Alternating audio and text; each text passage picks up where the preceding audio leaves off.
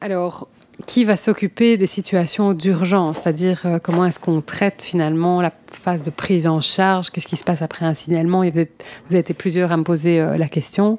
Euh, donc si, l'urgence est à l'intervention, effectivement, dans une série de cas, il y a aussi, il me semble, un impératif à apporter les meilleures conditions possibles pour construire une politique préventive durable, hein, parce que c'est finalement la seule manière d'essayer de faire diminuer le, phénomène et l'émergence de, situations. Euh, c'est pour ça qu'on, c'est comme ça qu'on a construit ce texte en fait. Hein. Agir sur la prévention, c'est choisir de travailler sur le temps long pour apporter un changement structurel et pérenne dans les écoles en termes de climat. Euh, la prévention, je vous ai déjà répondu quand on a, on a débattu ici autour de, de la question du cri. La prévention, c'est le, plus adapté au cœur de, métier de l'école et du corps enseignant, via la gestion de classe, en lien avec les référentiels, en lien avec les pratiques de démocratie scolaire prévues par ailleurs, en lien avec les, aménagements des espaces communs, etc., etc. Dans toutes ces questions, les directions et les équipes éducatives elles-mêmes ont un rôle capital à jouer. Donc cette orientation que le système scolaire se concentre et s'investisse prioritairement dans la prévention est par ailleurs je vous le rappelle, la recommandation principale est lourdement défendue depuis des années par tous les experts euh, sur la question. Je vous renvoie à cet égard à nouveau à l'ouvrage du professeur Galland intitulé Lutter contre le harcèlement à l'école, oui mais comment? Euh, on doit souligner que l'intervention euh, suppose la maîtrise de différentes approches et mobilise euh, potentiellement des savoir-faire acquis par le biais d'autres formations que celles des enseignants, euh, plutôt profil éducateur ou CPMS si on se limite même au giron seul de l'école. Et dans les situations les plus extrêmes, et je rejoins là tout à fait ce que Madame Galland a dit. Euh, l'intervention appelle aussi la participation de spécialistes qui ne sont tout simplement pas euh, dans l'école. Je pense tout simplement euh, au rôle des psychiatres, à prévention suicide, à l'intervention dans les familles, à la police, à la justice. Tout, tout, cela, évidemment, l'école ne pourra jamais se substituer à leur intervention et à un moment doit passer le relais parce que ça excède tout simplement le champ des compétences scolaires.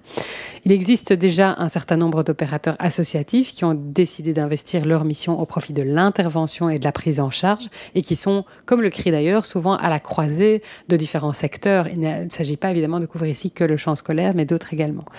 Euh, il y a donc, il me semble, une logique à soutenir que les écoles se professionnalisent dans la prévention et dans l'identification des situations euh, et qu'elles connaissent le béaba de l'intervention et mettent en place une cellule euh, à leur niveau chaque fois que c'est possible. Ça fait d'ailleurs partie des actions complémentaires que les écoles peuvent mettre en place euh, dans ce programme. Il y en a qui le font euh, aujourd'hui avec le soutien du CRI, hein, qui ont décidé de mettre une cellule interne d'intervention au niveau de l'école.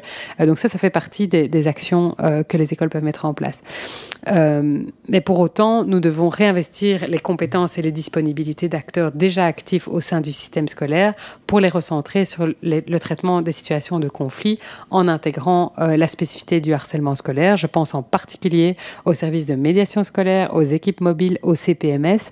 On doit soutenir la professionnalisation de ces équipes autour de la prise en charge des situations de harcèlement et renforcer ainsi les capacités de notre système scolaire à absorber une partie de la charge des interventions plus complexes. Ces perspectives constituent la feuille de route des travaux à poursuivre à compter euh, de l'année scolaire prochaine. Et donc, on va voter sur l'ensemble du texte. On passe au vote électronique.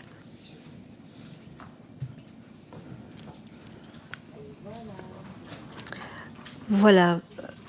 13 votants, 13 oui. Le vote, euh, l'article, euh, le projet de décret climat scolaire est adopté.